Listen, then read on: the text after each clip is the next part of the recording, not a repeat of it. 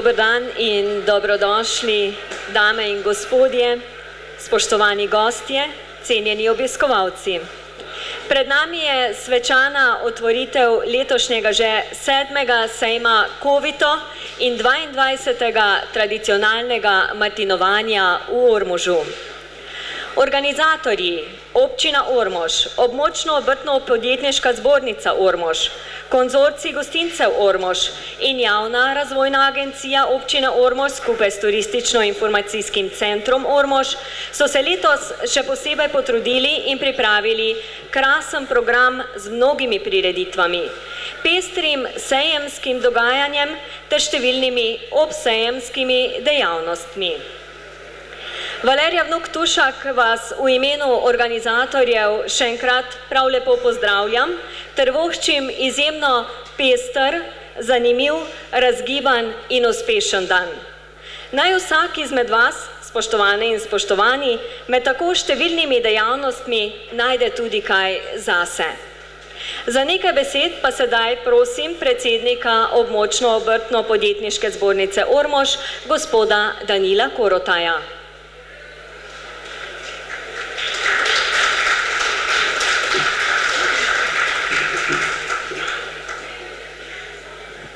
V imenu obrtno podjetniške zbornice iz Ormoža vas vse lepo pozdravljam. Pozdrav velja, pozdrav velja županu Alozu Soko, občine Ormož, prav tako eh, županu eh, občine Središča Dravi Juriju Borko. Posebej pozdravljam predsednika občine Osečna, gospodina Nenada Stevanovič. Pozdravljam pa tudi moje stanovske kolege z obrtne zbornice eh, Ptuj, kakor tudi predsednika oziroma podpredsednika upravnega odbora obrtne zbornice Slovenije, gospoda Ivana Meha.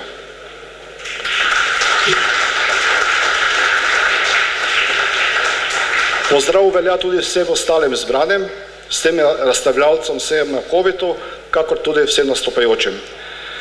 Obrtna zbornica Ormož letos organizira že sedmi sejem COVID-u. Vemo, da v teh današnjih časih take sejem pripraviti ni lahko, ampak nam je kljub temu to uspelo, sicer letos na malo manjšem prostoru kot običajno, zbrali smo lepo število razstavljalcev, tako da uh, upam, da bo ta sejem za marsikoga, ki je razstavljen na tem sejmu, uspešen.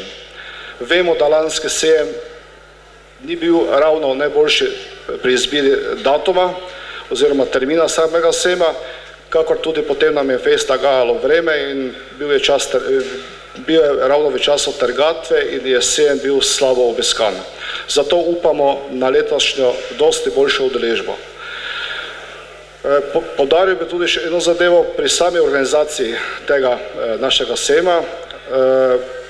Če se vrnem na začetek leta, širši množiči moče ni poznano, da članstvo v obrtni zbornici po novem več ni obvezno, je prostovoljno. Velja povedati, da je območna obrtna zbornica iz Ormoža med manjšimi zbornicami v Sloveniji in zato tudi dobiva neko finančno pomoč, da lahko še v tem času obstaja. Na koncu po tem slavnostnem delu ste, boste vsi povabljeni v šotor zraven tega prehlitvenega šotora na ogled tega sejma. Podaril bi še samo mogoče eno zadevo, da nam je letos tudi prvič uspelo tudi v pomoči obrtne podjetniške zbornice z Ormoža ustanoviti konzorcij treh gostincev, kateri dejansko peljejo tudi to maritinovanje, pa še moče katero zadevo pozneje uspešno v prireditvene svrhe. Vsem najlepša hvala za pozornost in adijo.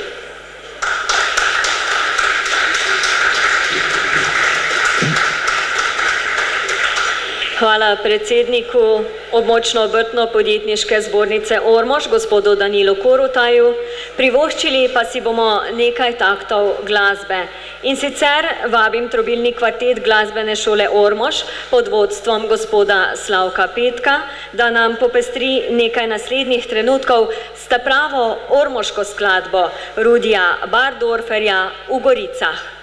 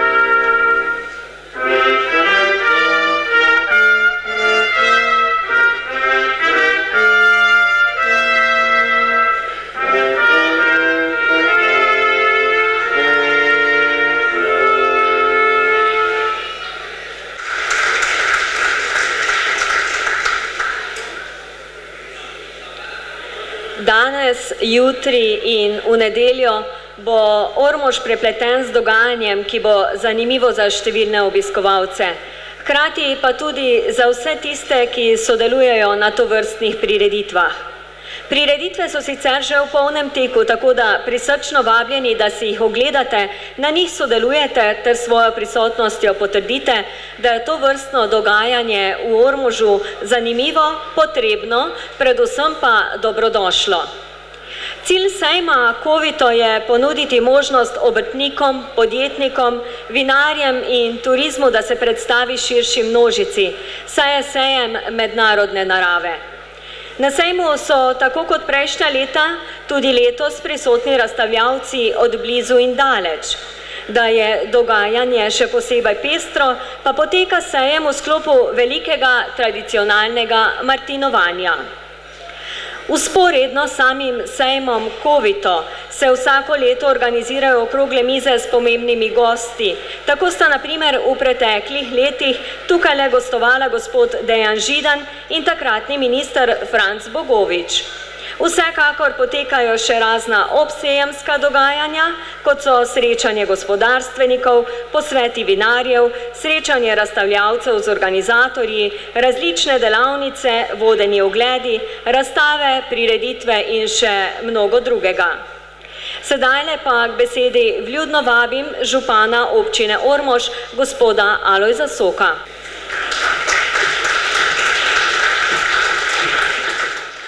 Spoštovane zbrane, spoštovane gospe in gospodje, dovolite mi, da se v imenu občine Ormož in pa v svojem imenu pridružim uvodnemu pozdravu predsednika obrtne zbornice tukaj v Ormožu, gospoda Danila Korotaja. Se mu tudi zahvaljujem za povabilo in sicer ne bi rad začel z opravičilom, ampak moram reči, da smo z kolegom Borkom zamudila, ker je v Borovci bila cesta zaprta. Naj ob tej prilike v pripravi letošnjega martinovanja tukaj v Ormožu, ki ga prirejamo seveda že vrsto let, let, izrazim tudi zadovoljstvo, da obrtna zbornica vsako leto sodeluje, da so pripravljene preko svoje ves pripeljati tudi druge na ta sejem in da pravzaprav vztrajajo in vsako leto organizirajo sejem COVID-ov. Sveda občina v okviru finančne zmožnosti to dejavnost podpira in upam, da bo tudi v prihodnje tako. Ormož namreč nekaj, neke velike zgodbe, razen razvoja in priložnosti na turističnem področju, potem okvarjanja z kmetijstvom, in to neke industrije, kar je imamo tukaj, nekaj več od tega ne moremo na kratki rok pričakovati. Zato je seveda prav, da bi rekel tisto, kar pa imamo, vsi skupaj podpremo in to je to našo lepo okolico in pa veliko priložnosti za turistično udejstvovanje. Zato seveda, seveda še enkrat vsem hvala, tako vam obrtnikom, tako tistim, ki vsako leto pripravijo okroglo mizo, vsem tistim vodičom, ki bodo preko teh dne sprejeli številne goste od drugot, ki pridejo k nam, upam le, da bo vreme vzdržalo in da boste vsi skupaj iz Ormoža odnesli lep spomin na letošnje martinovanje, čeprav vreme vinogradnikom letos ni bilo naklonjeno. Hvala lepa.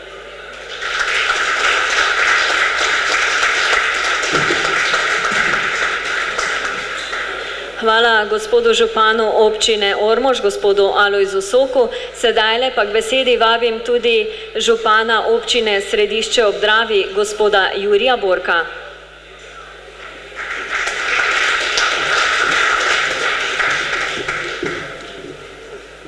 Spoštovane, spoštovane, dovolite mi, da vas pozdravim tudi v imenu občine Strišče v Dravej, kako tudi v svojem lastnem imenu. Seveda tudi jaz se iskreno zahvaljujem za povabilo, kateremu sem se seveda z veseljem odzval.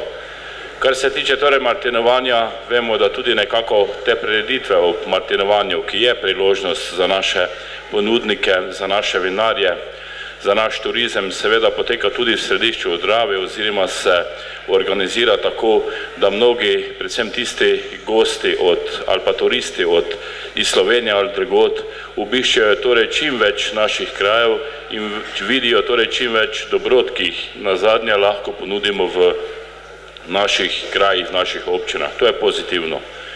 Ravno tako tudi seveda zahvala in pa čestitke trudu ob, o, obrtne podjetniške zbornice Ormož, ki se seveda trudi z tem sejmom, kajte vemo, časi niso lahki, ne na obrtnem področju, ne na gospodarskem, ne na kmetijskem.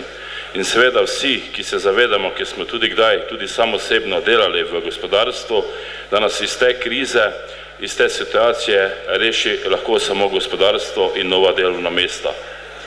Mi, župani, na to dosti opozarjamo. Upamo, da bodo ta prizadevanja tudi na državnem nivoju, tudi na vladi uspešna, da bodo spoznali, kaj je pomembno, da bo seveda prvo država, potem pa tudi lokalne skupnosti ponudile prave možnosti za gospodarstvo, za kmetijstvo, za turizem. Edino to nas lahko reši. Jaz se seveda čestitke vsem, ki se trudijo za to martinovanje, za sejem COVID-ov, Seveda tudi sam sem prepričan, da bomo v naši občini tudi širše, koliko se bo le dale obrtno podjetniško zbornico, naše obrtnike, kmetijstvo podpirali z spodbudami, z ustvarjanjem pogojev, koliko bo leto možno. Seveda čestitke vsem in pa seveda želim prijetno počutje tudi v središču obdrave tisti, ki boste ga jutri obiskali na martirovanju. Hvala.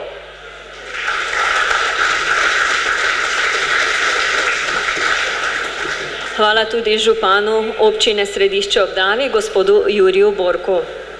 Sejem COVID-o organizatorji vsako leto nadgrajujajo. Letos bodo del sejma obogatili tudi zaposlitvenim delom, torej, da potencijalni delodajalci dobijo stik z zainteresiranimi za delo in predstavijo trenutno kadrovsko potrebo v podjetjih. Prav tako lahko agencije posredujejo zainteresiranim podatke za delo ter imajo možnost predstaviti svojo dejavnost, storitve in tako prispevati k celostni podobi in uspešni izvedbi sejma COVID-o, ki je tradicionalen, število obiskovalcev, tako domačih kot tujih, pa se iz leta v leto povečuje, kar pomeni, da se številka bliža tudi par tisočim obiskovalcev. Vse skupaj popestrimo tudi z različnimi kulturnimi točkami, zato tokrat na oder vabim učence osnovne šole Ormož.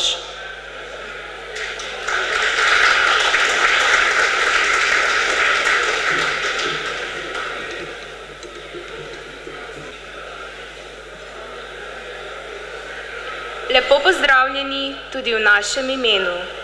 Na sejmu kmetijstva obrtništva, vina in turizma Kovito v Ormužu. Dobrodošli na razstavi dobrot kmečkih žena. Dobrodošli na Martinovanju. Danes je tukaj prikazan marsikateri poklic, od starih do novih poklicev, kot je zapisal Tone Pavček.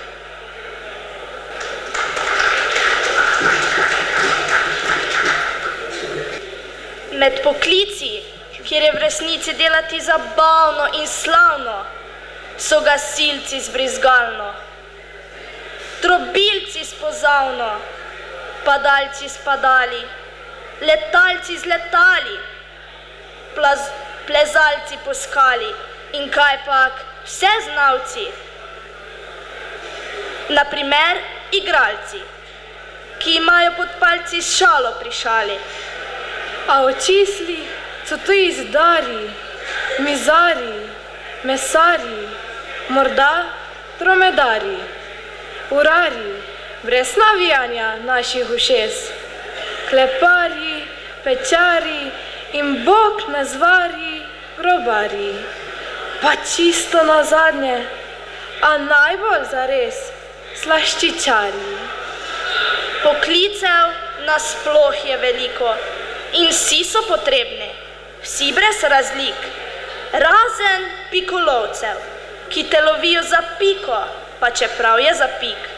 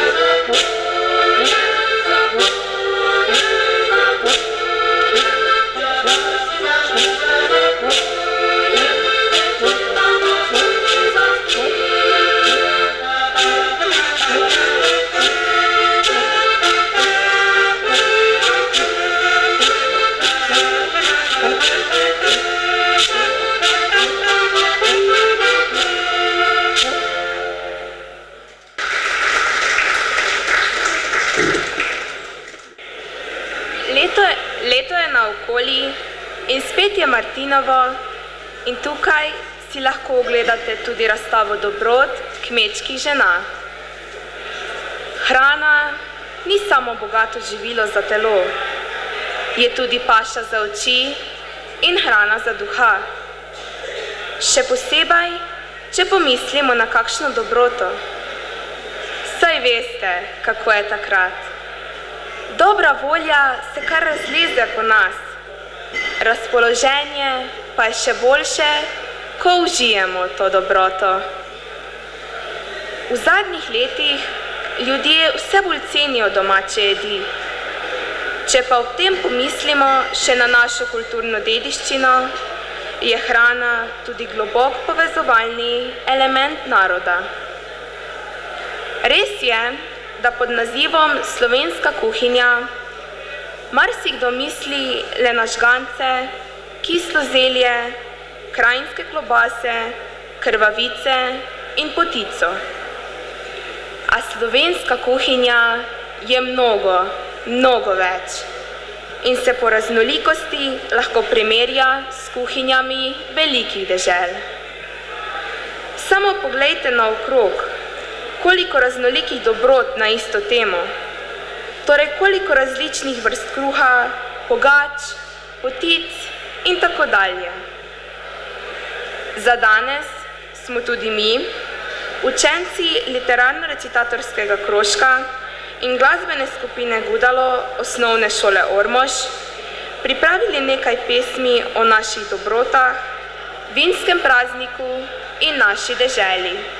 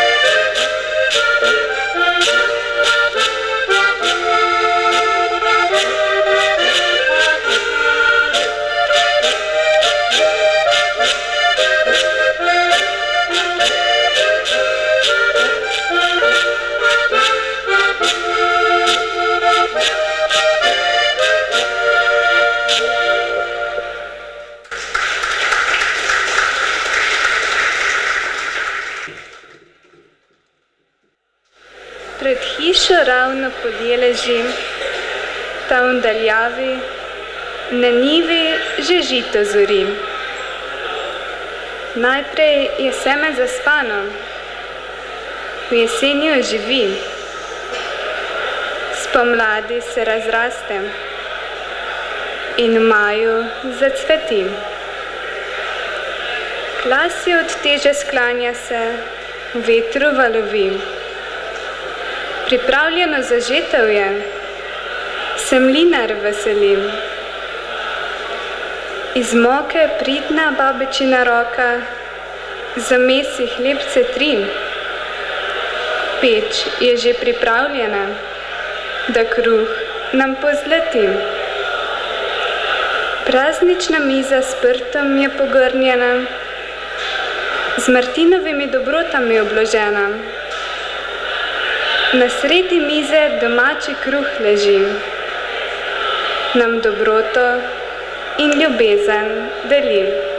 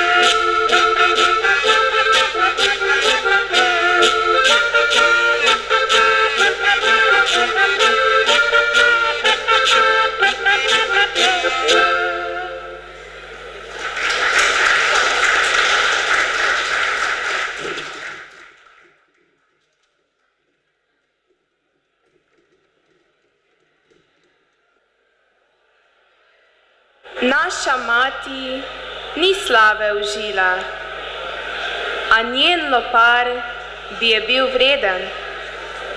Z njim je v peč brezhibno vsadila, po sedem hlebov vsak teden. Na lopar je hlebce dajala, jim vrezala križe sreče, z loparjem iz peči jih je mala, po blagostanju dišeče. Saj pravim, naša mati z loparjem igrala je vlogo šampiona. Lopar je bil za njo ustvarjen, kot za prvake Wimbledona.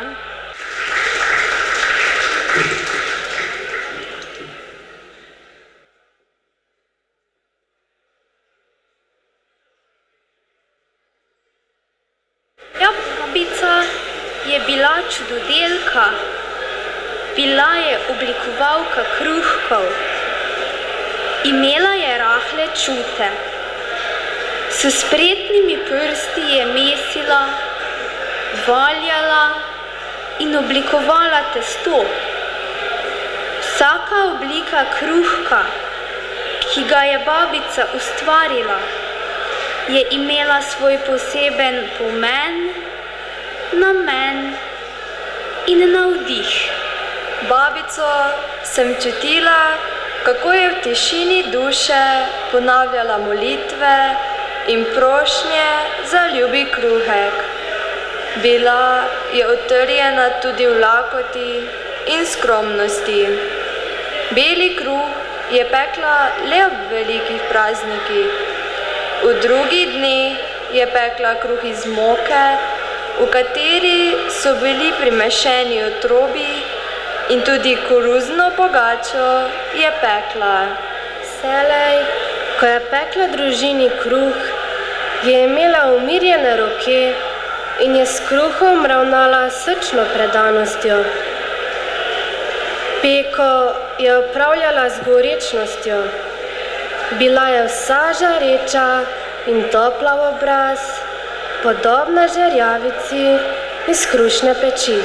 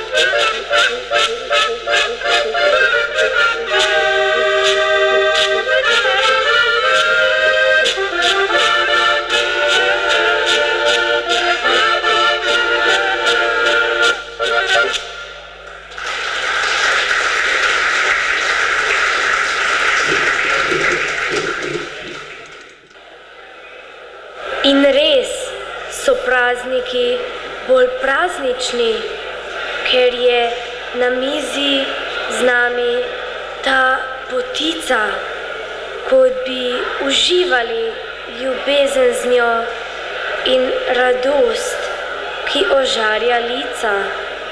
Kot bi bila ta sladka jed izvor vse praznične svetlobe, ki razsvetljuje dom in vrt ter notranjost vsake sobe. Uživamo jo to potico, Lakotno in sveto hkrati. saj jo je za praznike poslala mati.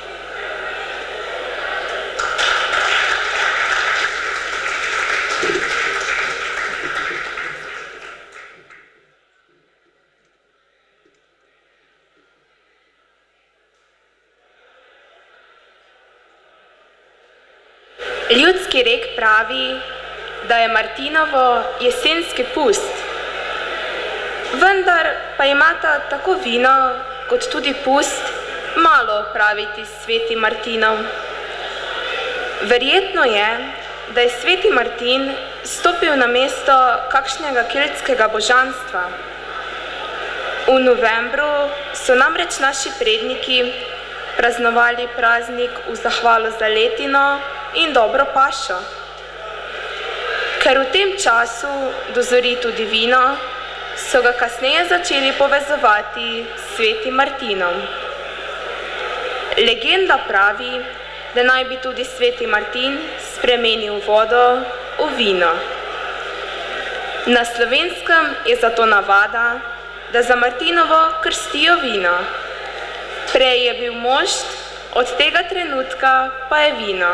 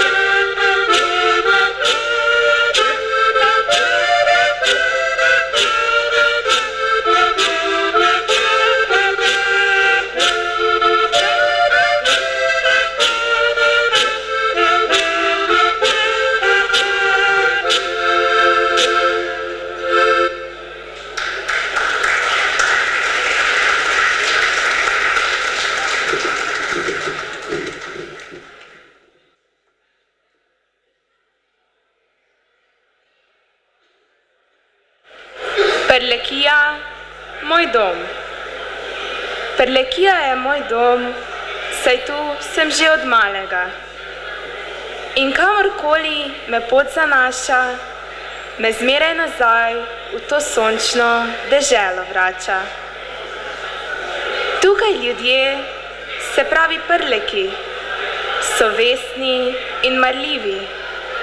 A ko enkrat delo se opravi, tudi oni se zabavajo radi. Tu v goricah, ko je senje, klopotec nam pesmi igra, trta pa se kar šibi od grozdja sladkega. Stare domačije tukaj čara ne izgubijo, saj nam kot del tradicije spomine v srcu prebudijo. Včasih pa se ti zdi, kot da prleki narava čudeže prav odobrava. Saj, ko pogledaš nebo, ti tukaj ptice zapojejo še posebej lepo. Če pa z kakega griča zazreš se v daljavo, tvoj pogled v zrbo lepoto pravo.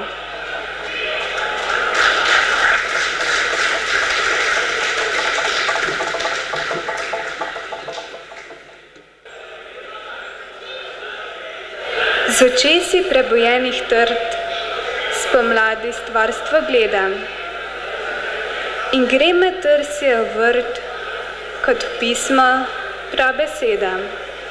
Vinograd nosi na ramah, z njim dviga se v nebo in zapisuje v zlati prah čas duše in telesa. Od nežnih popkov do vonjav cvetov rumeno-belih in dne, ko k soncu sem svetov, povzdigne poln kelih. Potem poteče vino, kri kot iz njegove rane. In čudodelec za njim gosti svetnike in zemljane. Stoji ob strani nasmejan, ko svojega okuša in bolj kot sam patron urban, njegova sveti duša.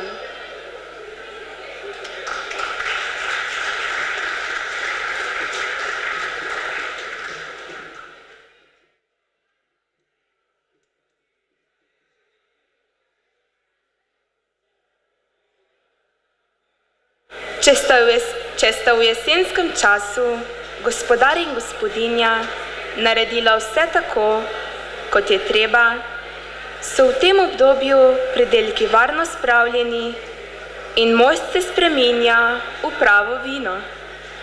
In to je seveda treba praznovati. Po kmečkih domovih zadišijo pečeni kostanji, gospodinje pripravijo bogato obložene mize, vaščani pa prokramjajo in marsikje tudi zapojejo. S pesmijo, ki sledi, bomo zaključili naš program. Želimo vam prijetno martinovanje.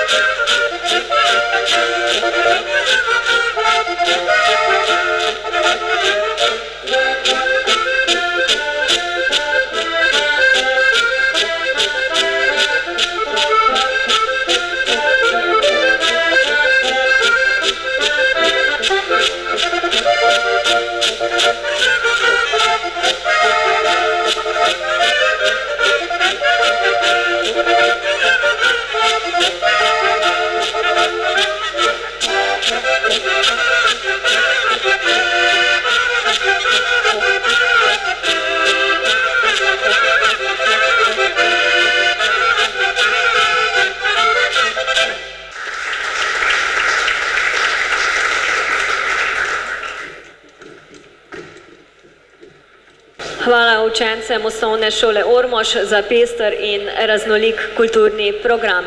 Mi pa spregovorimo še nekaj besed o samem martinovanju. Kajti vinska trta igra v naših krajih že stoletja pomembno vlogo. Daje značilen pečat izgledu naše krajine, daje kruh številnim vinogradnikom, privablja v naše kraje veliko ljudi in ponaša ime Ormoža v svet. Praznovanje svetega Martina ni samo del bogatega etnološkega izročila naših krajev, ampak ima širši pomen. V teh dneh naši kraji uživijo in vinogradniki se te dni veselijo polnih kleti in pridelka, za katerega so se trudili skozi leto. Martinovanje je tako z leti preraslo v enega najpomembnejših turističnih dogodkov v naši občini. Prav zato smo medse danes povabili tudi podpredsednika upravnega odbora obrtne zbornice Slovenije, gospoda Ivana Meha, ki ga sedaj le prijazno vabim k mikrofonu.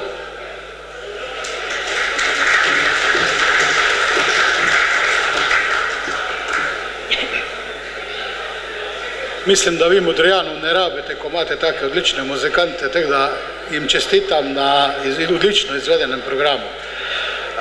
Spoštovani gospod predsednik obrtno-podjetniške zbornice Ormož, spoštovani župani, spoštovani moji stanovski kolegi, spoštovane obrtnice, obrtnike, podjetniki in pa vsi ostali. Mislim, en lep pozdrav v imenu obrtno-podjetniške zbornice Slovenije. Mislim, da na obrtni zbornici, obrtni zbornici Slovenije bi mogli biti ponosni, da je ena izmed, bom rekel, manjših zbornic, tako dejavna. Ker vsi vemo, kaj se lotiti projekta, kot je sejem. Verjemite mi iz lastnih izkušenj vem, ker tudi mi smo na Koroškem nekaj se trudimo in zato še enkrat iskrene čestitke vsem, ki so doprinesli, da ta dogodek danes tu odpiramo. Sem vesel, ko poslušam župane, da živijo z obrtništvom, da nekako smo v sožitju, ker mislim, da je od občin zelo veliko odvisno, kako obrtniki delujemo in eh, v kakšni meri smo uspešni. Tako da jaz mislim, da eh, vsa čast vsem županom, ki prisluhnejo in pa tudi čujem, da finančno pripomorejo. Na naši obrtni zbornici podjetniški Slovenije smo nekako, naš cilj je, da pač združujemo vseh 62 zbornic in eh, ko je prej vaš predsednik rekel, da pač ste manjša zbornica in da potrebujete neka sredstva, jaz iz tega mesta zatrdim, da uh, vseh 62 ustanov mora ostati, ker edino tako bomo nekako rentabilni v Sloveniji in delovali proti državi. Rekel sem proti državi, to pa zato, ker pač z državo zdaj težko delamo. Ne? Vsi vemo, kako nas država obremenjuje, kakšne imamo pogoje poslovanja in jaz mislim, da je pač obrtno podjetniška zbornica Slovenije z vsemi nami, z vsemi vami eh, nekako uh, potrebna in da če bomo v slogi, ki je do zdaj bila, še tako naprej živeli in delovali in se podpirali, jaz mislim, da ni straha, da bi karkoli v Sloveniji zamrlo, pa naj govorijo, da v Sloveniji je kriza, mislim, da smo že več kaj premagali, tudi to bomo premagali, ker jaz vem, vidim tam starejše obrtnike, ki so verjetno že kar dolgo let v pokoju in so si to dali skozi in so videli, da uh, nekako morajo to prebroditi, tudi mi bomo mogli in uh, zato jaz mislim, da tu ni nobenih velikih problemov. Na koncu še enkrat, jaz vam želim veselo odpiranje sejma, veliko ogledov, seveda razstavljavcem, veliko kupcev in pa kontaktov. Tu zadnji pa ko vidim, da je martinovanje, seveda tudi vsem veselo martinovanje.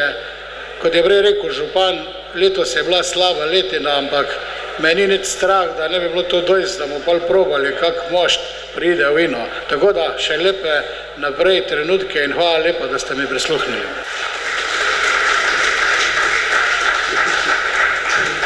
Hvala tudi podpredsedniku upravnega odbora obrtne zbornice Slovenije, gospodu Ivanu Mehu, za njegove besede. V času martinovanja se tako že sedmič zapovrstjo in zelo uspešno predstavlja sejem Kovito tukaj v Ormožu. Poleg razstavljavcev, ki predstavljajo razne obrti, obrti na našem koncu, poteka tudi Martinova tržnica, kjer se predstavljajo domači rokodelci, kot so izdalo, izdelovalke nakita, lončarji, videti se bo dalo izdelke iz lesa ter praktične izdelke za vsak dan. Med nami so tudi delegacije od blizu in daleč. Ena izmed teh je tudi iz občine Osečina. Zato prav prijazno vabim k mikrofonu predsednika občine Osečina, gospoda Nenada Stevanoviča, ter ga prav prijetno pozdravljam.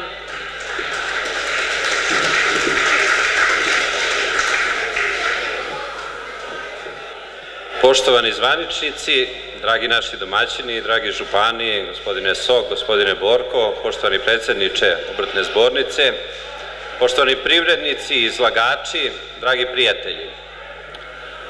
Veliko mi je zadovoljstvo da u ime opštine Osečina, u svoje lično ime, mogu da vam prenesem pozdrave građana opštine Osečina, od naših privrednika, od onih koji nisu danas ovde, jer mogu da se pohvalim da danas u Ormožu je 40 ljudi iz opštine Osečina, imamo štand i zaista smo srećni što smo danas ovde sa vama da podelimo radost i utiske na vašem sajmu. Želim vam puno uspeha na ovom sajmu i na ovoj manifestaciji gde se pa, vaša privreda na pravi način pokazuje i naravno puno dobrog vina. Ali mislim da je prava stvar i prava prilika i zaista mi je zadovoljstvo što imam mogućnost to da kažem. Iskazujem jedno veliko zadovoljstvo opštinama Ormož, opštini Središće Obdravi, obrtnoj zbornici, građanima vaših opština, građanima dobre volje čitave Slovenije, privrednicima koji su pokazali veliko razumevanje i koji su pružili veliku pomoć i Osečini i čitavoj Srbiji posle strahovitih majskih poplava. Znate da smo bili zahvaćeni velikim poplavama, posledice su bile velike i užasne i po stanovništvo, i po našu infrastrukturu, i po poljoprivredna dobra, i po privredu. Samo zahvaljujući prijateljima kao što ste vi, imamo ih i na drugim stranama, mi smo uspeli da izađemo iz svega ovoga. Naše prijateljstvo traje, ja mislim, nekih deseta godina. Počelo je kako to i treba od strane privrednika, proširilo se zahvaljujući i kulturi, i sportu, i turizmu. Evo, kažemo, poseta danas brojne delegacije opštine Osečina, bilo je poseta i na našem sajmu šljiva svih prethodnih godina iz Slovenije i došlo se do neke saradnje. Pravi prijatelji kao što smo mi, mislim da imamo osnova i volje i da moramo da očekujemo da budemo bolji i da našu saradnju unapredimo. Sigurno u jednom zajedničkom i opštem interesu i ovog dela Slovenije, a sigurno i Osečine i čitavog dela zapadne Srbije. Još jednom veliko hvala za iskazanu pomoć i razumevanje za majske poplave i želim vam puno sreće i za sajam, a i za čitav razvoj vašeg lepe opštine. Hvala.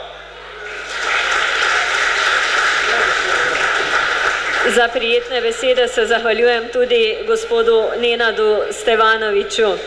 No, na našem območju pa je vsako leto več kmetij, ki se ukvarjajo z dopolnilno dejavnostjo na kmetijah. Zato boste na tržnici lahko našli tudi tipično prleško domačo hrano, kot so meso iz tunke, zobel, sir, kvasenice, na voljo bo seveda tudi sadni kruh. No, sedaj le nam bo naslednje minute popestril glasbeno, seveda, kantautor Tadej Vesenjak. Pa mu prisluhnimo.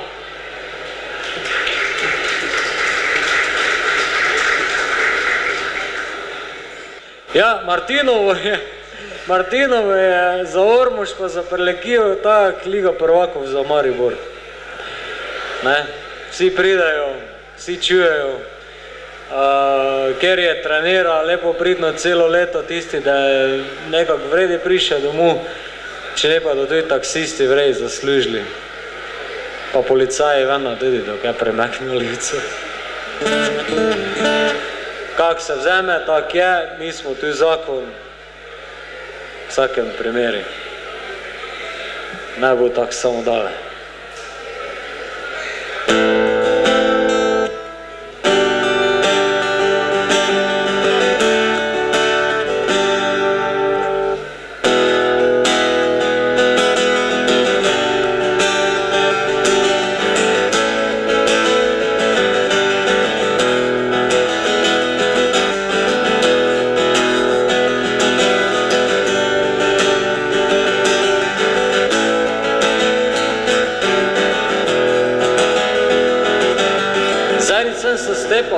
Naših goric, vse okoli puno, lepih pivnic, pa srečnih ljudi, nasmejanih lic. Neko dobre vole, kak je v to tih bregač, ženske so lepe, dedi smo v hlačah, puno male dece,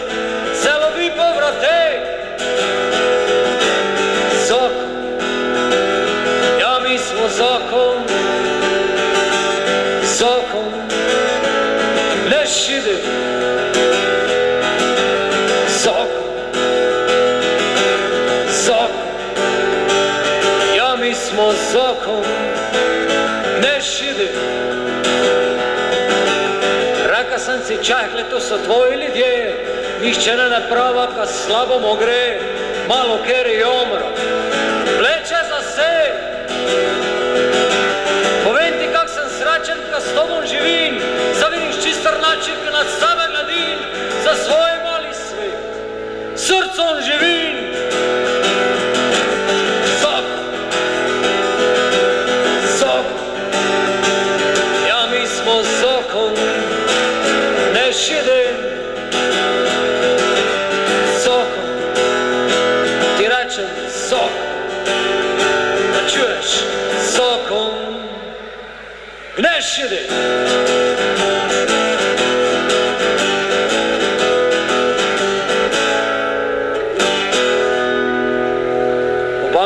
Pijemo.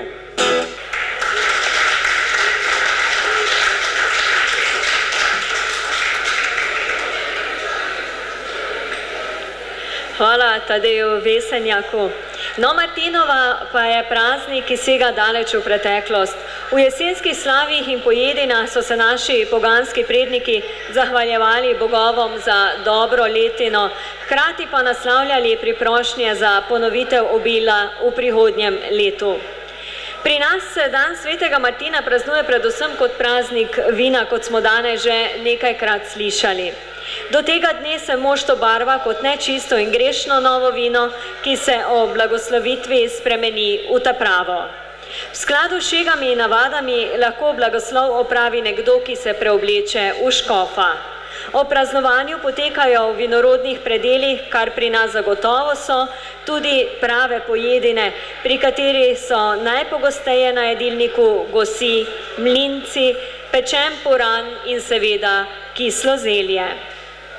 V sklopu martinovanja se v Ormožu predstavljajo tudi vinogradniki, ki svojim vinom sodelujejo v tekmi za najšpricar in turnirju mladih vin.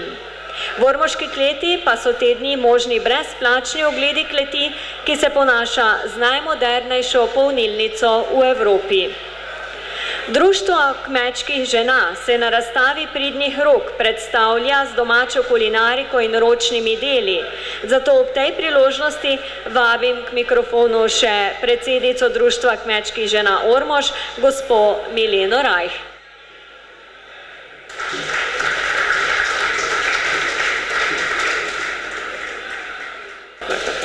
Lepo pozdravljeni, drage članice, cenjeni gosti in obiskovalci. Društvo kmečkih žena leto že tradicionalno podpira vrata razstave ob Martinovanju. Na razstavi se predstavljamo za svojo bogato ponudbo, ki jo ustvarjajo pridne roke naših članic. Razstava je bogata, raznolična, ustvarjalna, predvsem pa unikatna. Kljub današnjemu času, ki je res hiter tempo življenja, smo vsestransko nepogrešljive v človeški družbi. Razstava je odprta v prostorih salona. Poudarek razstave je na babičino srambo. Vse veste, znajde se v babičini srambi marsikaj. Se boste sami prepričali, ki je široko odprta za vse obiskovalce. Letos smo Društvo kmečke žena Ormož ter svetovalna služba za gospod Hinko Hržič, ki je svetovalka za dom in družino, izpeljali že tretjo lesto po vrsti ocenevanja potic. Komisija je bila sestavljena iz treh članov. Kriteriji so bili enaki kot na Ptuju dobrote slovenskih kmetij. Predsednica komisije je bila gospa Rošar Marija, druga članica Metka Lešničar in tretja članica komisije gospa Jožica Korpar. Sodelovalo je 12 članic z 18 izdelki. 16 je bilo zlatih, ena srebrna in ena bronasta.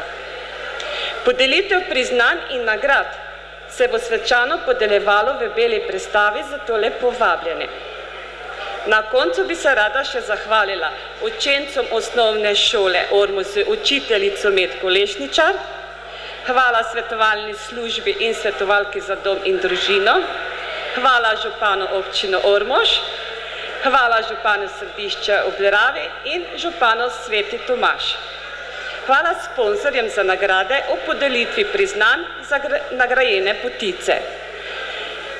Kmetijska zadruga Ptuj in Pomurske mlekarne. Hvala in lepo vabljeni na razstavo.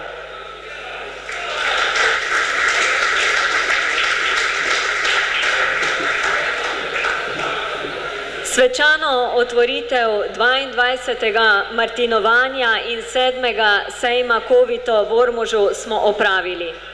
Pester program se bo odvijal tako danes kot jutri in še v nedeljo, zato ne zamudite priložnosti, da ste del sejemskega ter obsejemskega dogajanja tudi vi, spoštovane in spoštovani. Valerija Vnuk Tušak vas prav prijazno pozdravljam ter se vam za zdaj zahvaljujem za pozornost v imenu organizatorjev. Občine Ormož, območno obrtno-podjetniške zbornice Ormož, Konzorcija gostincev Ormož in javne razvojne agencije občine Ormož skupaj s turistično-informacijskim centrom Ormož. Vse prisotne pa vabim na ogled sejma Kovito ter na to še na razstavo pridnih rok. Vljudno vabljeni na ogled, kjer vam voščimo obilo pestrega, predvsem pa zanimivega dogajanja. Izvolite torej, sejem Kovito in 22. martinovanje v Ormožu sta odprta.